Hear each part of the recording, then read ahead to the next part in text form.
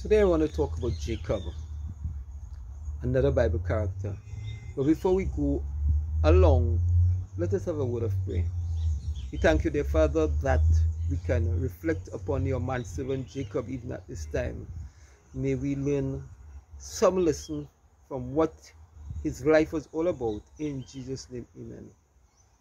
Now, we learn from our scriptures looking at Genesis chapter 25 and onward, even up to verse to chapter 37, and even we would see Jacob being mentioned further in chapter 47 when he would have blessed his children and grandchildren. We see that Jacob, from the inception or conception, Jacob was involved in fighting against his brother, even in the tummy of his mother Rebecca. Jacob, in his early days, when he was born, Jacob held on to the heel of his brother Esau. So we know that Jacob was going to be trouble from even the beginning of time. Yes, indeed, he was troubled because we see very early that the scripture record that Jacob uh, sold his brother lentil, a meal of lentil, for the brother's birthright. So Esau sold his birthright for a meal of a meal of lentils because Esau felt that he was so hungry that he could not have lived without eating this bowl of lentil. And Jacob, being the schemer that he was, was very, very good at scheming to get something as important as one's birthright. Subsequently, we see that Esau uh, was being robbed again by Jacob because earlier God told uh, Rebecca that the younger would be more or less uh, would be served by the older.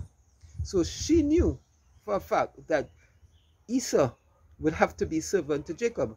And therefore she concocted a scheme when she realized that uh, Isaac, being an old man at the time, wanted to bestow the blessing upon Esau.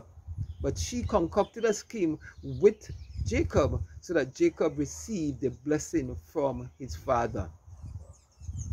Fast forward this, we see that Esau became so angry that at the end of the day, he decided that he was going to get rid of Jacob.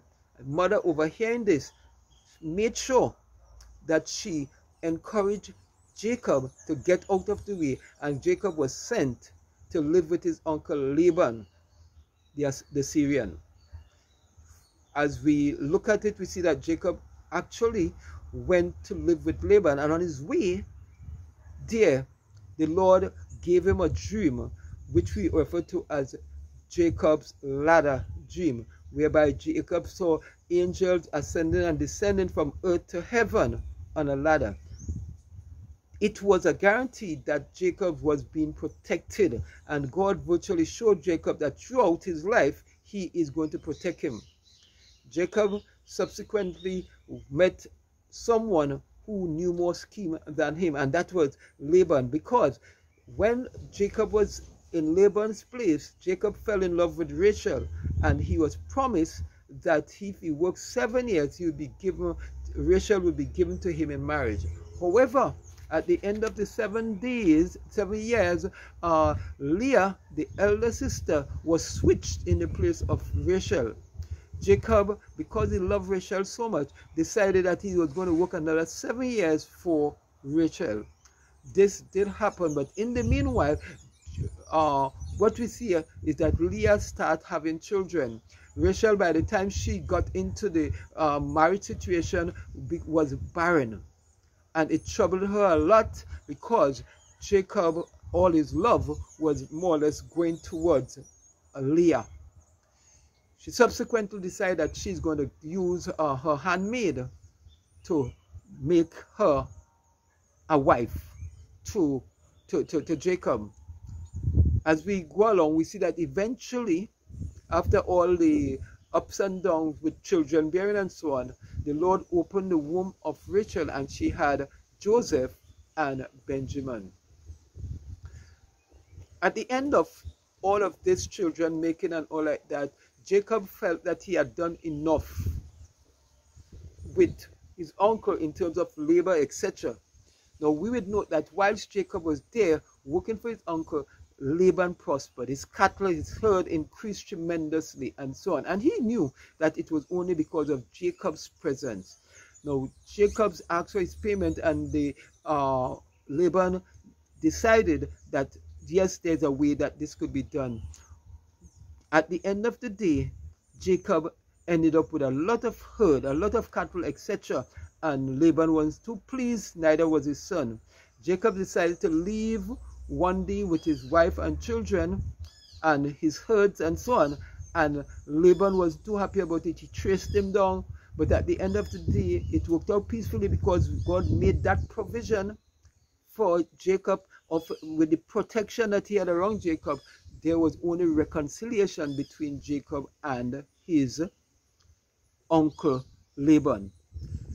Fast forward and then we see as Jacob decided to continue, he got the message that Esau was coming. We know what was the last encounter between Jacob and Esau. So Jacob was afraid that Esau would come to destroy him. And he decided, divided his cattle and his possession, his children and so on, and made provision so that he would be the last to meet Jacob. However, the Lord would have intervened and put things in place. We also see that whilst he was there organizing himself, during the middle of the night, he encountered the angel of the Lord and we see that a fight ensued and Jacob at the end of the day was blessed because he decided that he's not going to end except he was blessed. He was indeed blessed by the Lord, and his name was no longer called uh, Jacob, which meant usurper, but instead his name was called Israel, one who struggled with God and was successful. Fast forward that reconciliation with, with, with Esau took place, and now he was left on his own traveling. He came to a place called Shechem or Shechem, and there his daughter Dinah was being raped by Hamor, uh, the son of the, the leader of the country and so on. And his sons decided that that was not going down like that. They decided that they would destroy all the men in that village and they did so.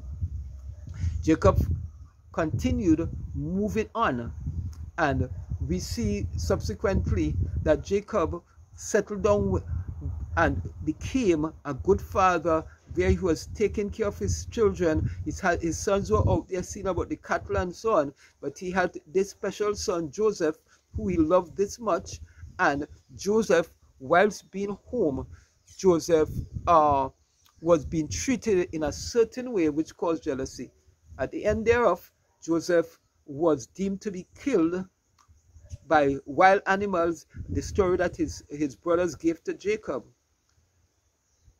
many, many years after, when Egypt was the land that was supplying the then known world with food, Israel had to send his sons to get food in Egypt. There they discovered Jacob, uh, Joseph, being the governor of the land. Jacob, Joseph subsequently sent to his father. There his father remained for the rest of his life until he died.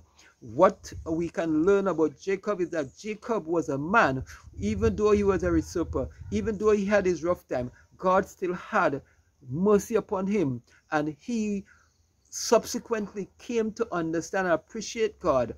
And as a result of that, he turned his life around and was an example even in the hall of faith. Jacob loved God and was an example Jacob turned his life around, not by might nor by power, but by God's Spirit. So may God bless us as we learn lessons about Jacob here, that we too can turn despite where we may have been or what we may have become. Thank you, dear Father, for Jacob's story. Thank you for the way he turned his life around.